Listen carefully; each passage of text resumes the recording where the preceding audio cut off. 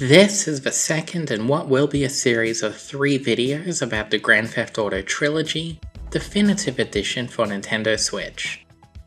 My complicated feelings for this trilogy were laid bare with the previous video on GTA 3, but simply put, I like these, I like the originals too for different reasons, and in a super simplified way, the original release better reflects the artistic vision of the creators, and something was lost in the transition to definitive, but more accessibility features and improvements to the core controls and gameplay are appreciated, and I don't want to dismiss them no matter how many funny compilation videos people put out.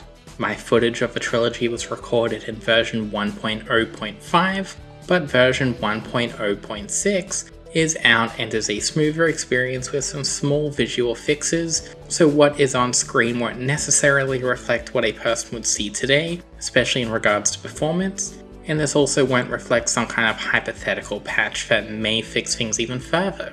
I'll talk about the game as it is now, and won't dismiss issues with it, but things are obviously subject to change the longer time passes from the moment of this video's release. And whenever I say anything good about this re-release, it doesn't mean I'm saying the original is bad, or I'm supporting this as the only means of playing this game. Rockstar might have punched me and stolen my food and then replaced it with different food, but that doesn't mean I'm not allowed to enjoy the new food, even if I don't like the situation itself. Okay cool, we got that out of the way, that way I don't have to repeat myself too much. Watch my previous video if you want a further breakdown about things like the controls or accessibility. We are now 20 years removed from the original release of Grand Theft Auto Vice City, a game that was a nostalgic throwback to a generation before my own, and itself is now a nostalgic relic of the bygone times I grew up in. I'd reminisce, but no, 2002 was a terrible time, and xenophobia had spiked, so let's get away from that by thinking of Vice City itself a game set in the Reagan era where we start gang violence among the immigrant population of a city that is the center of the drug trade. Much simpler times. Vice City is what the 1980s looked like to someone who wasn't alive then, but listened to 80s music and watched movies from that decade. I should know because I'm a part of that demographic, and I just won't accept how brown and boring the decade really was. This game is one part Goodfellas, two parts Miami Vice, three parts Scarface, and five parts of every Best of the 1980s compilation album.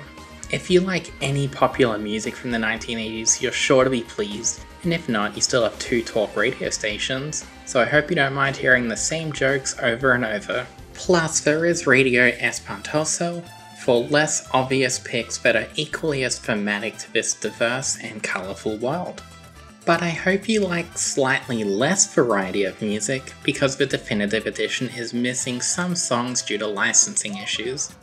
This will be a problem in San Andreas too. Personally, I don't like this, but record companies can be pains to work around, but the upside is most of the songs are still here, and for those who absolutely need every single song intact, the old version does still exist, or you can just mod this.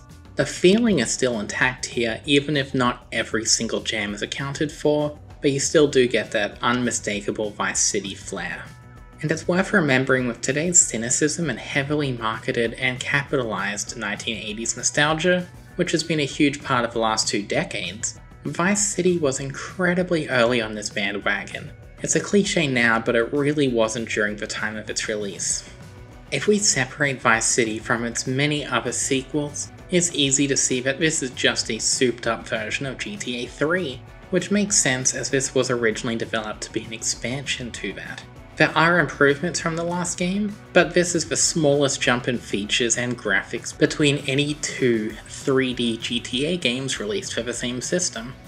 Compare the list of features, vehicles, weapons, and things to do between GTA 5 and 4, or Vice City Stories and Liberty City Stories or even San Andreas and Vice City. Then look at the comparison between Vice City and GTA 3. It drew the shortest straw here.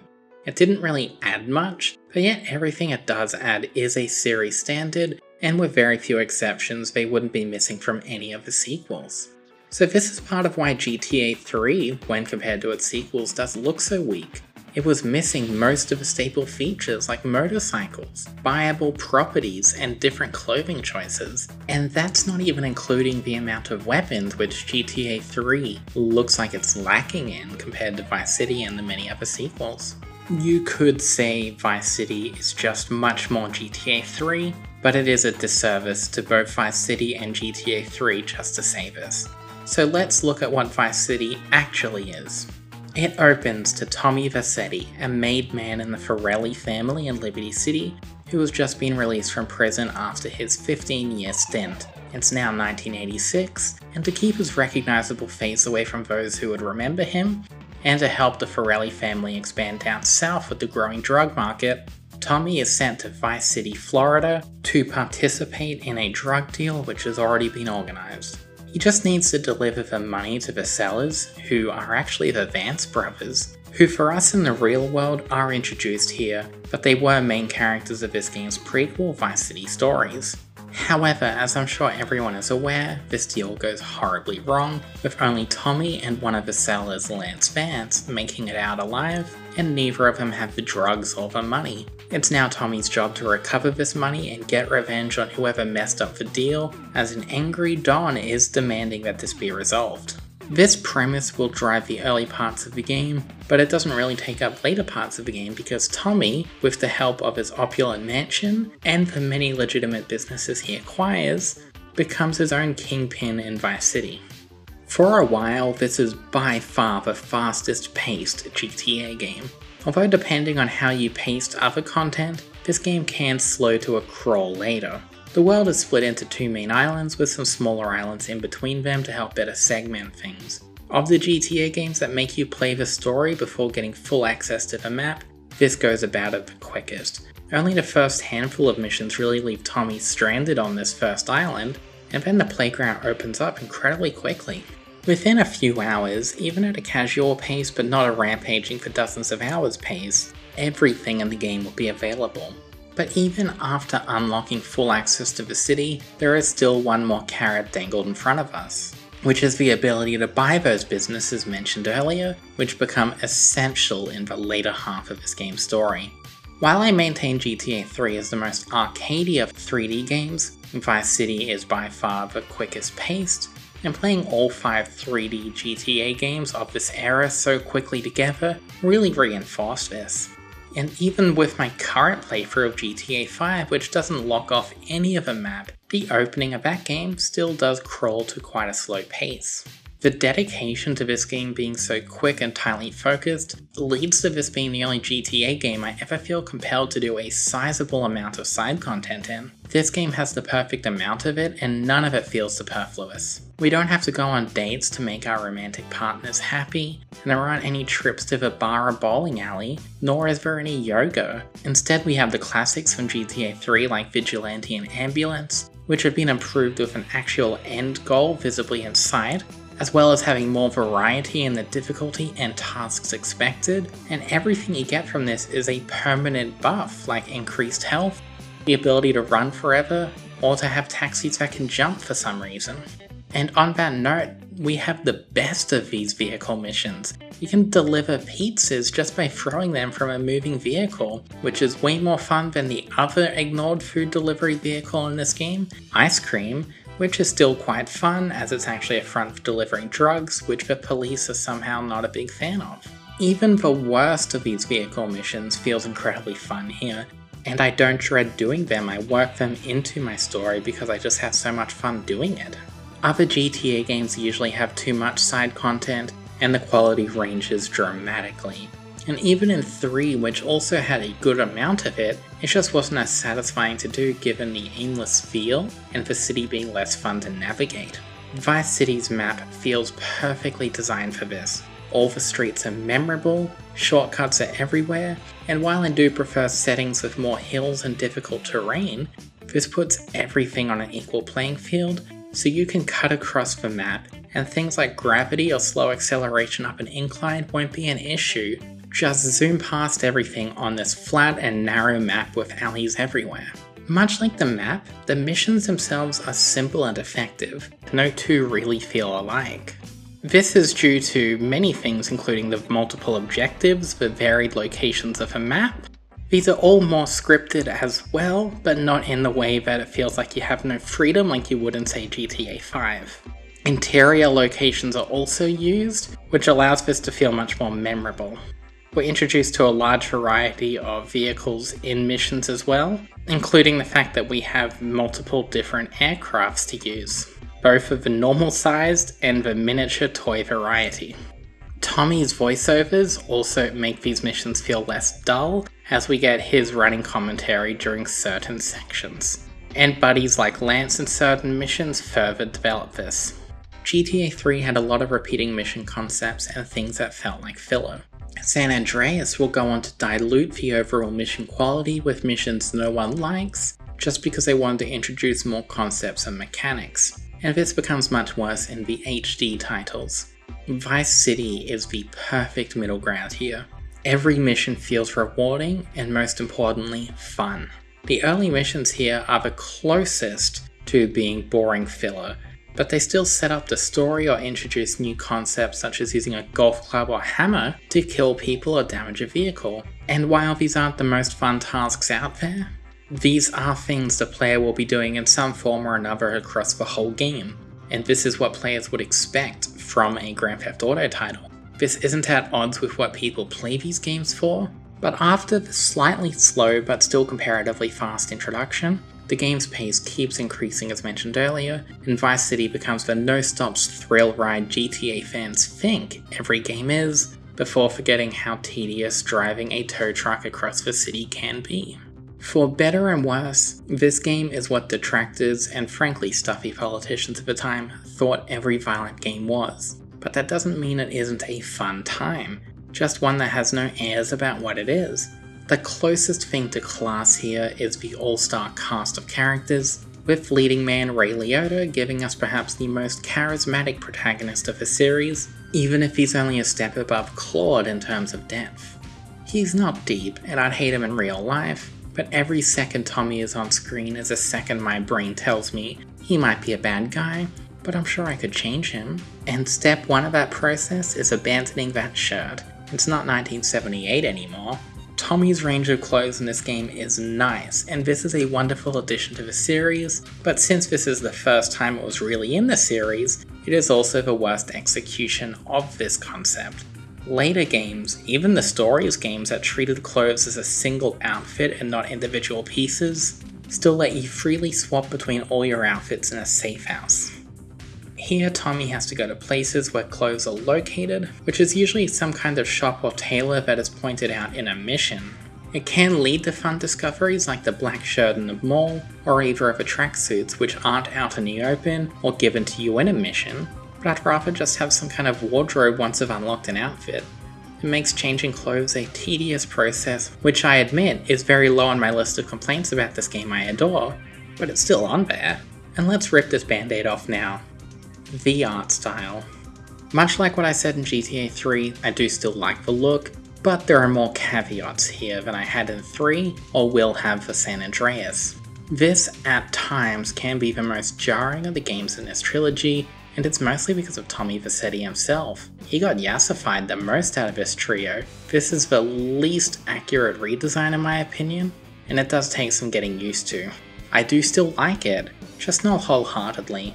The worst of it was the shock of seeing it for the first time, but the more you get exposed to it, the less it bothers you. His face doesn't really give me any problems. It's weird, but I kind of like it. But his arms, that's where I draw the line. Claude had no real arm issues because he basically had one look. CJ will have no arm issues because that game freely lets him run around in his underwear, and the game had to be built around that.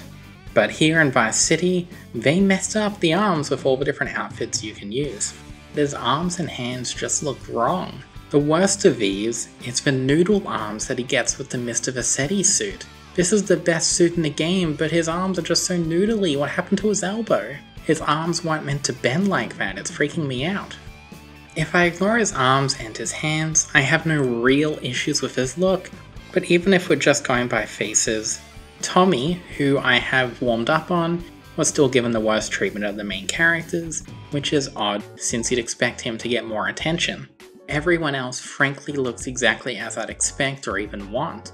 The only other real change of note is just that Phil Cassidy isn't wearing the same top as before, because over the last 20 years, the conversation about how messed up it is to display a symbol associated with uh, states' rights, which means slavery, has reached the mainstream. People were furious at this so called censorship, but they shut up once the release date version of the game showed up because there were much bigger issues. GTA 3 had a few characters who didn't quite get the full treatment when they were put through a prettification machine, and they came out a little too uncanny or just kind of off. But here in Vice City, everyone who isn't Tommy looks good, as does the city here. GTA 3, especially pre 1.0.6 patch, looked very rough in a few places, but Vice City got the best treatment here. The neon lights do wonders to what could be a flat looking city, as does the sky, which is at its best when it's purple during the evening. Of the three settings in these games, Vice City received the most love, which is no real surprise considering the scale they're working with and the strong identity of the original. My only real complaint here is the sand is sometimes a bit too high in the ocean, and the clear water is beautiful, but it does make the sand thing look even more apparent, and it does draw attention to just how lifeless all the sea creatures here are. The water on its own looks great, but it does draw attention to some of the deficiencies underneath. But when the ocean's faults aren't there, this water does look really nice and it adds to the atmosphere. It looks completely different to the water in GTA 3 or San Andreas, and it gives it this warm and bright atmosphere even when you're drowning. Vice City unsurprisingly uses the water more than 3 ever did. It's really baked into the setting here, and the usage of boats is much more fun given the canals and multiple bridges incorporated here, which adds more challenge and easily distinguishable landmarks to what could have been an unmemorable blue blur like the water of Liberty City.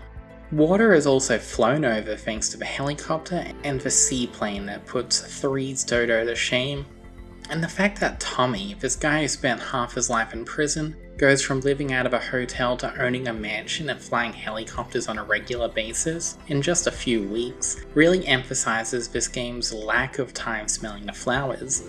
It's all action all the time.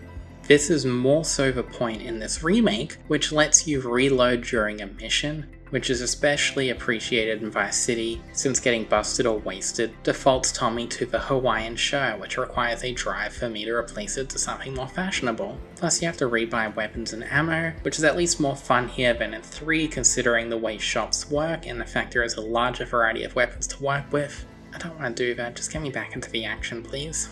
If I can help it, I'll avoid all that and use the generous checkpoint system here, except to deliberately fail a mission to get one of those indestructible cars like Diaz's. And for the car collectors, we have even more places to store them, thanks to this game's buyable properties which sometimes have garages. Even when they don't, they're still good places to manually save at, which to some is a pretty pointless feature here due to this remake's autosaves. But it doesn't feel right to stop the game without going to your actual safe house. But the point is you don't have to in case you need to get off in a hurry, or you just don't want to waste that time. To which I would say it's not wasting time, enjoy the radio. I draw the line at redoing missions, not at going home. I don't want to buy all that ammo again because I'd rather save that money for buying properties. And these properties might be my favourite passive income in the entire series. And San Andreas had the same passive income system, and it was introduced so late that you could practically gamble at that time, which just meant that money once again became a pointless thing as you're gambling millions. Vice City stories kept vomiting up passive income, so much so that it became a joke. Here, we get smaller amounts of daily income, and you have to drive to the business to collect them, the money hits a cap, so you need to make regular stops instead of leaving the console on for hours to collect a giant amount. It may sound tedious, but it also gives money more weight and allows for side content like driving taxis to still have a monetary purpose. A passive income doesn't even become an option until you do missions for these purchased businesses, which shows Tommy taking the reins and interacting with the current staff. These are fun diversions which at first seem like some fun side content, but it becomes anything but. The main story missions do dry up at a point and the game won't progress any further until more of these property missions are completed, which is what I meant when I say the game can slow down later. And while these property missions are fun, they don't feel like a core part of the story, it just feels like things get put on hold for a bit, which is understandable considering the situation. Regardless of whether the game's ending is continuing with the uninterrupted, well paced journey you set out, or it comes after an intolerable lull, it will frankly be the most exhilarating and sheer fun ending there is in this trilogy especially with the poorly implemented gyro controls, and I will knock it off this hill. It's made even less awkward by the fact that Tommy can now crouch with a weapon, so he is slightly better than Claude when it comes to a gun. And after all that, you see the credits roll, and you'll only be left with two thoughts. One of which is this game is just as fun now as it ever was, which is still a high bar for the era. And secondly, where are the women? We had two sex workers who were treated with the kind of respect you'd expect from the early 2000s. There was the leader of the Haitians who was barely in the game and she just hypnotizes Tommy to do things he wouldn't want to do. There is also the old lady who runs the ice cream van to sell drugs, and that's like it. This isn't Chinatown Wars, where a woman is basically relegated to a marketing feature for the PSP release, but this is still a step down from GTA 3, which saw a few women in important roles, including one who was the primary antagonist. Let's hope San Andreas has more women in it, and they're not just relegated to sex or something.